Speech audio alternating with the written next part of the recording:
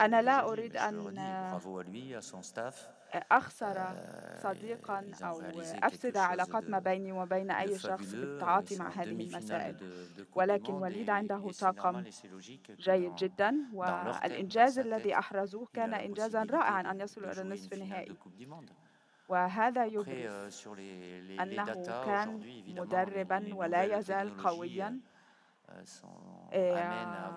موظف في اختياراته في قراراته أما فيما يتعلق بالتكنولوجيا بالبيانات فأصبحت هناك أصبح هناك كم أكبر بكثير من البيانات مما كان متوفرا في الماضي عنا وعن الخصم وليست كل هذه البيانات يتعين وضعها في عين الاعتبار ولا يضعها في عين الاعتبار الجميع أحيانا نحصل على مجلدات من البيانات أو بالأحرى بيانات آه، رقمية على الآيفون أو الآيباد ولكن البيانات ليست دوما بالمثيرة أو بالمفيدة.